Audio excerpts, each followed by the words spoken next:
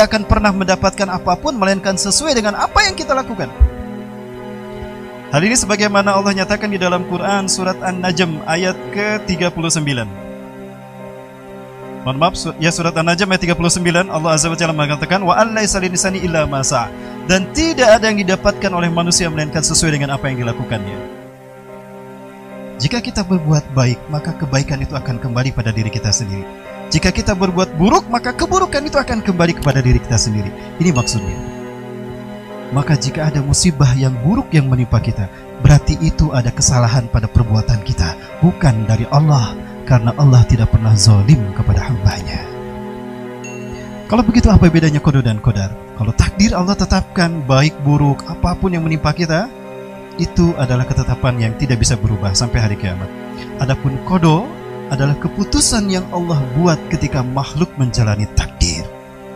Maka apa pun yang menimpa kita hari ini, saat ini, dewasa ini, itu adalah buah dari pilihan kita. Kenapa demikian? Karena manusia memiliki tiga posisi dan posisi yang terutama yang penting di antaranya adalah posisi mukhayyar. Allah memberikan kepada kita hak pilih untuk memilih apa pun dalam kehidupan kita. Memilih berbuat baik, silakan kata Allah. Memilih berbuat buruk, silakan hatta memilih siapa Tuhan kita Allah berikan kebebasan. La ikraha fiddin namun Allah berikan ketetapan bahwa setiap pilihan kita ada konsekuensi perhitungan dan balasan. Ketika kita memilih kebaikan maka balasannya pun baik. Bukankah Allah telah menyatakan tadi dalam surat Ar-Rahman hal jazaul ihsanu illal ihsan. Tidak ada balasan bagi kebaikan melainkan kebaikan lagi dan jika ada manusia yang memilih keburukan, maka balasannya pun buruk.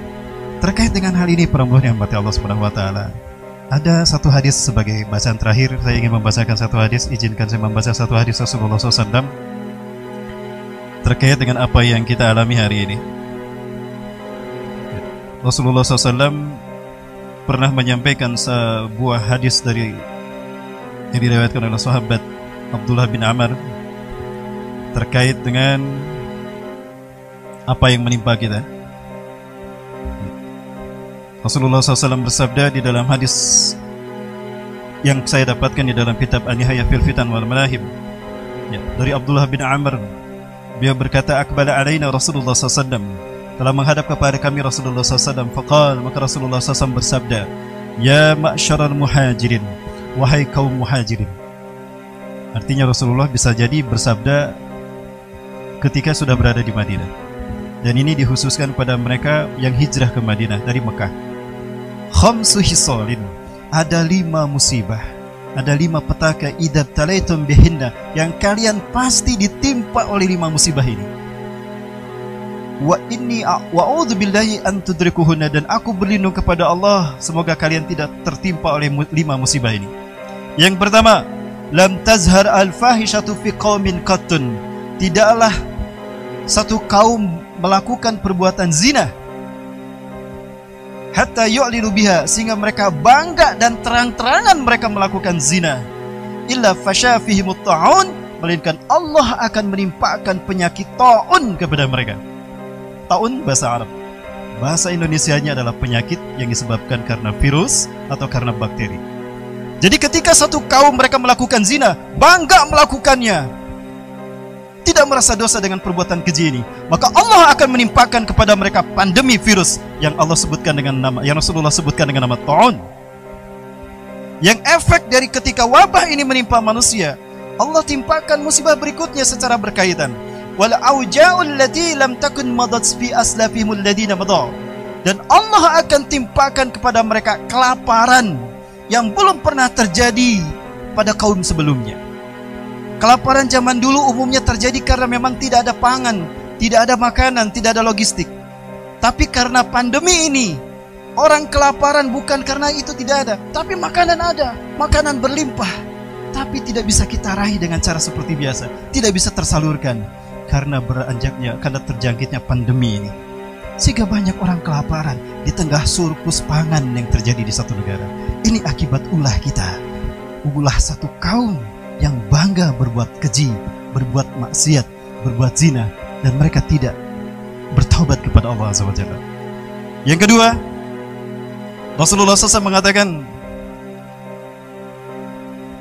walam yang kusul mikyala wal mizana. Dan tidaklah kaum itu melakukan mengurangi timbangan dan takaran. Illa ukhidu bisinina. Melainkan Allah akan menimpakan kelaparan kepada mereka. Wasiddatul maunah dan Allah akan menimpakan kepada mereka pacaklik yang luar biasa. Dan yang ketiga akan Allah timpakan wajur sultani alaihim. Mereka akan dipimpin oleh pemimpin yang buruk zalim kejam kepada mereka. Tidak memenuhi hak mereka dan tidak memenuhi kewajiban mereka. Itu yang ketiga. Kemudian yang keempat walam yamna'u zakata amwalihim. Dan tidaklah kaum itu menahan kewajiban zakat atas harta yang telah mereka miliki sesuai dengan nasab dan haul. Illa qatra melainkan Allah azza wa jalla akan menahan hujan dari langit Andaikan manusia tidak mau menunaikan kewajiban mereka mengeluarkan zakat atas harta yang telah cukup sesuai dengan syarat, maka Allah akan menahan hujan dari langit.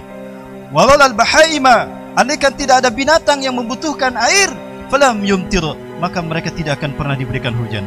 Artinya apa? Mereka yang menghalangi diri dari menunaikan zakat wajibnya itu lebih hina dari binatang. Yang keempat, Rasulullah SAW kemudian menyatakan, walam kudu ahdallahi wa ahda rasulihi. Dan jika mereka menentang apa yang Allah tetapkan atau menyalahi janji mereka kepada Allah dan sumpah mereka kepada Rasulullah SAW illa salatallahu alaihim aduwan min ghairihim. Melainkan Allah akan mendatangkan musuh yang datang dari luar negara mereka. Fahadu ma fi aidihim. Maka musuh itu merampas apa yang mereka miliki Musuh itu merampas harta kekayaan mereka, bahkan musuh itu mengeksploitasi kekayaan alam mereka. Dan yang terpenting, musuh itu mengambil kemerdekaan mereka. Dan mereka tidak bisa berbuat apa-apa. Ini terjadi ketika manusia atau satu kaum tadi menyalahi janji mereka pada Allah dan Rasulnya.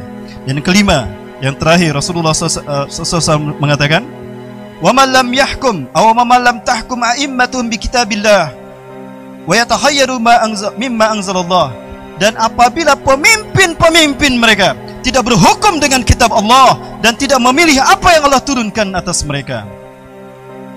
Illa ja'alallahu ba'sahum bainahum. Melainkan Allah akan ciptakan kekacauan di kampung mereka. Allah akan menimpakan kekacauan di negeri-negeri mereka. Hadirin sidang Jumat rahimakumullah. Kembali kepada keyakinan kita tentang kodo dan kodar jadi apa pun yang menimpa kita, jika itu kebaikan, itu datang dari Allah. Karena Allah tidak pernah berbuat buruk, tidak pernah memutuskan keburukan. Allah selalu menginginkan kebaikan bagi kita. Tapi kita yang memilih keburukan itu terjadi pada diri kita. Yang kedua, apa pun keburukan yang terjadi, itu adalah karena perbuatan kita sendiri, karena kesalahan diri kita. Maka saatnya kita bermuhasabah, istighfar kepada Allah atas perbuatan dosa kita, atas kelalaian kita dan ke, ke, ke perbuatan dosa kita. Bertobat kepada Allah masih ada pintu taubat selama kita belum sakaratul maut. Dan pada akhirnya kita berharap kepada Allah. Kiranya Allah memberikan bimbingan kepada kita melalui para ulama kita, melalui para habaib kita agar Allah membimbing kita melangkah ke jalan yang Allah ridhoi.